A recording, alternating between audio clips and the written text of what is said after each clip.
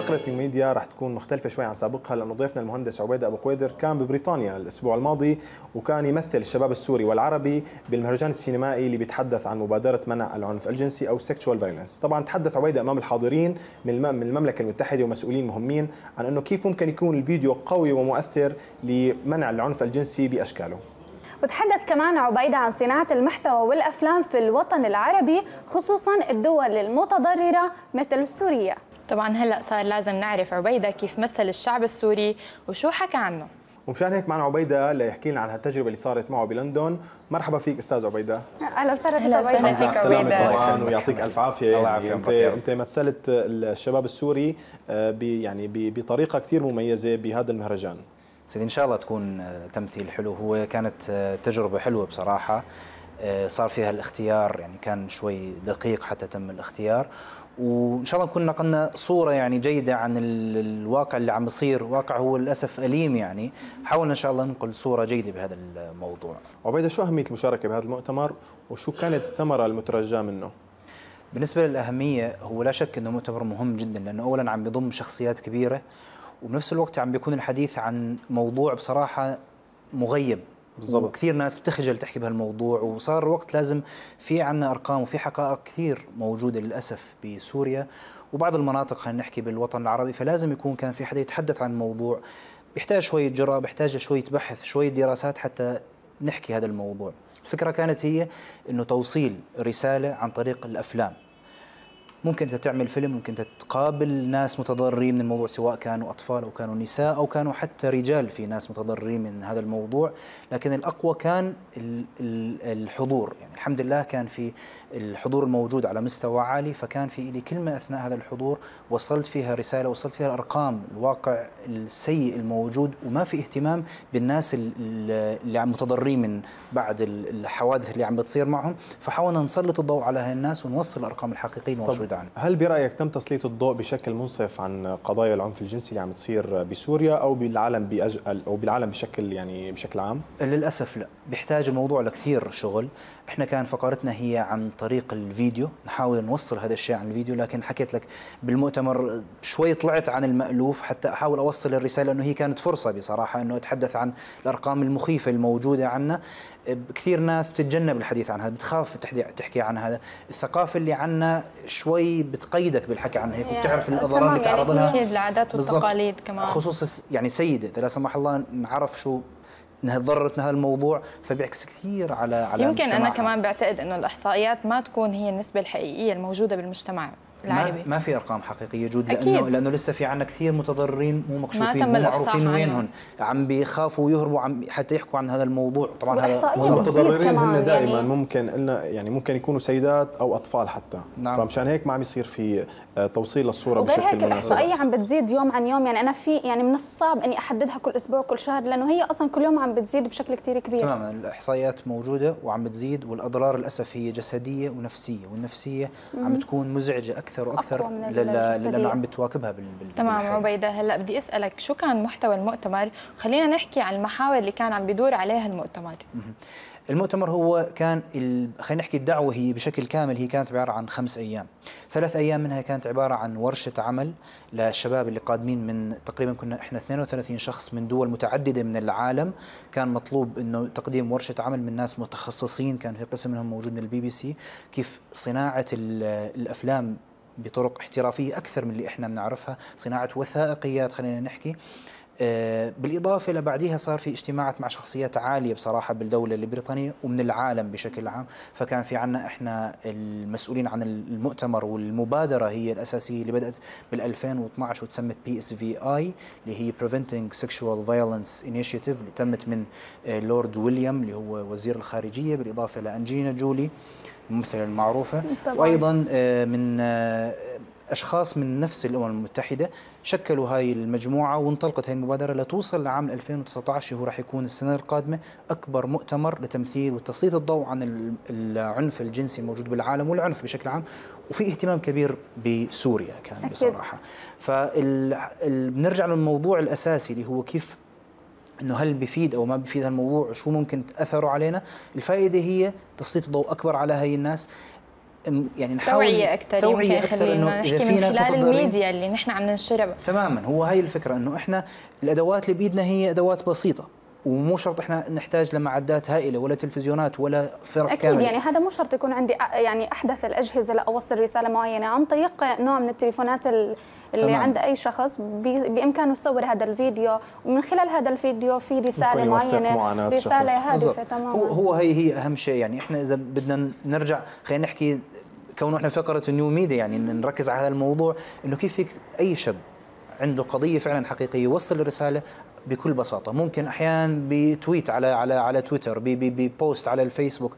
بالإضافة ليقويها أكيد إذا في عنده قدرة بصناعة المحتوى قدرة بصناعة الفيديو إنه يصور هذا الشيء ويوثقه قصيرة. ويرسله. نعم يرسله عن أو- طريق أو اللي هي كمان. سكتشات بتصير. بالضبط هلا. عبيدة على ال- المستوى السوري خلينا نحكي. كيف كانت المشاركة السورية؟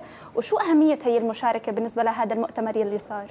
هلا المشاركة السورية كعدد كانت كثير ضعيفة للأسف آه، بس حاولنا نعوض هذا الشيء بالشيء اللي قدمناه هناك. فكان المؤتمر اللي صار آه، مثل ما حكيت شخصيات كثير مهمة كان مطلوب منا الحضور وبنفس الوقت. إذا في شيء حاب تحكي يعني نحكي.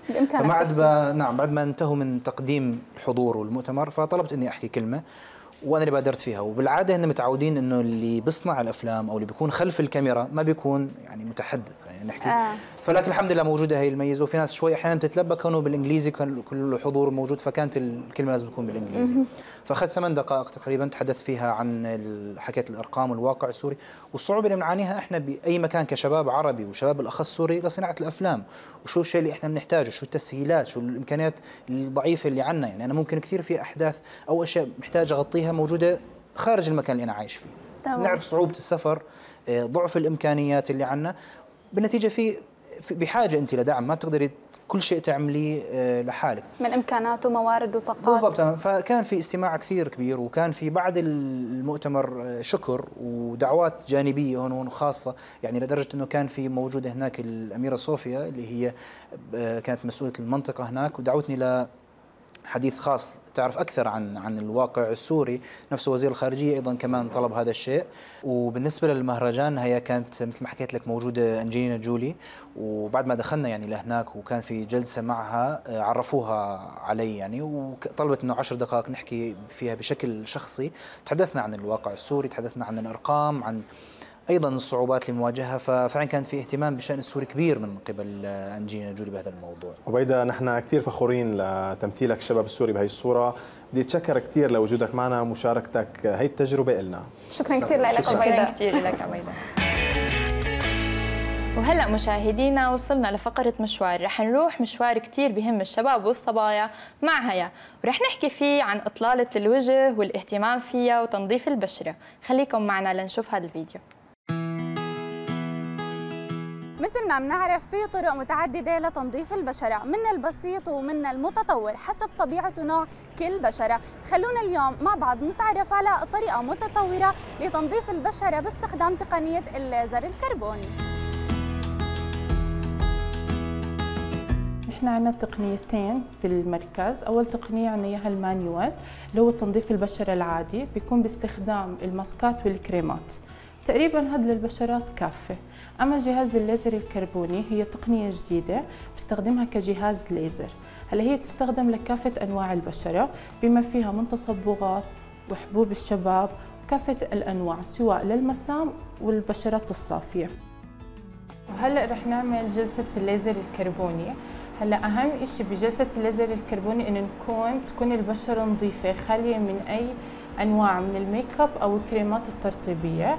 فأول خطوة رح نعملها إنه هي رح نحط نحن مادة الكربون.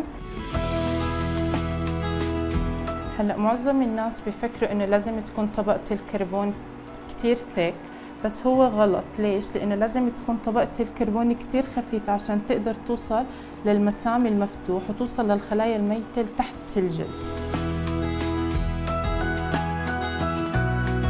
هلأ رح نبلش بالخطوة الثانية. اللي هي إنه نحن لازم نعمل على حماية مادة الكربون بطول موجة طويل اللي هو بيسموه بجهاز الليزر الكربوني ال spectra mode فلازم نحن نغطي العين علشان طبعا ليزر بأذي العيون وزي ما أنتم شايفين المنطقة الهشة تحت العين ما قدرنا نحط مادة الكربون لأنها منطقة كتير رقيقة على العين والليزر بيأثر على العين فنحن بنحاول ما نحط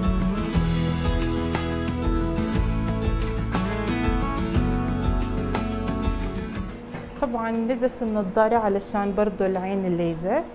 بنختار طول الموجة اللي بيناسب البشرة حسب طبيعة مدى استجابة البشرة للليزر. فباجي بختار طول الموجة اللي لازم يحمي البشرة وبنختار الطاقة.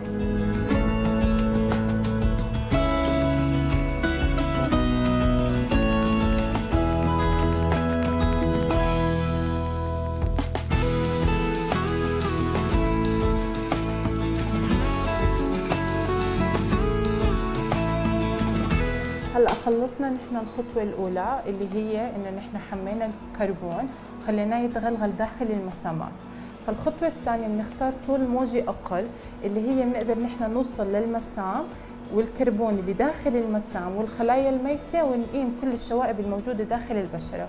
فهلأ بنختار طول الموجة القصير وبنختار لها طاقة. هلأ المفروض الطاقة تكون يا نفس الطاقة الموجة الطويلة أو أعلى منها بدرجتين. فنحن بنختار الطاقة ونبلش بنعمل لها الجلسة.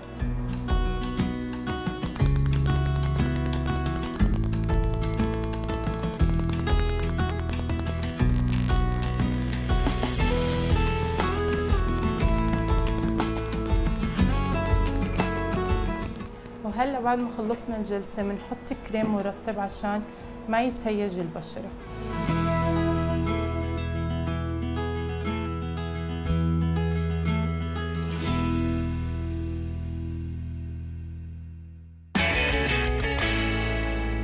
مثل ما شفنا بهالتقرير شباب فعلا إنه تنظيف البشرة كثير مهم للصبية مو بس كمان لإلها وللشاب كمان. يعني خصوصا الأشخاص يلي عم يشتغلوا يلي عم يتعرضوا لإشعة الشمس أكيد هي. واللي بحطوا كمان foundation و makeup كثير سواء بالجامعة بالشغل أو بأي مكان فبيعانوا من المسامات. أحيانا إنها بتنفتح واحيانا بصير في إغلاق للمسامات فهذا الشيء مو منيح للبشرة ومضر فتنظيف البشرة عند أخصائية كثير مهمة ومتميزة. يعني رح تحسن من وجهك وبشرتك. أكيد كمان له دوره المهم بالتصبغات والبقع اللي. بتتواجد على البشرة بسبب وجود. الشخص لساعات طويلة تحت أشعة الشمس. كمان إسلام يعني أنت بتقعد تحت الشمس كثير لازم تروح تنظف البشرة. يعني أنتم شو بدكم على الشباب؟ يعني ما بيطلع لنا مثلا نهتم بحالنا. إيه، بيطلع لك خد نعمل. تنظيف بشرة نروح. نعمل يا أختي ما سنفره بتشوفيهم غير رايحين على الحلاق عم يعملوا ماسك وما بعرف شو. هالقصص بيطلع شو لنا- بيطلع لنا. هالقصص هي؟ وبعدين معكم. خفف شوي خفف. طيب. バイ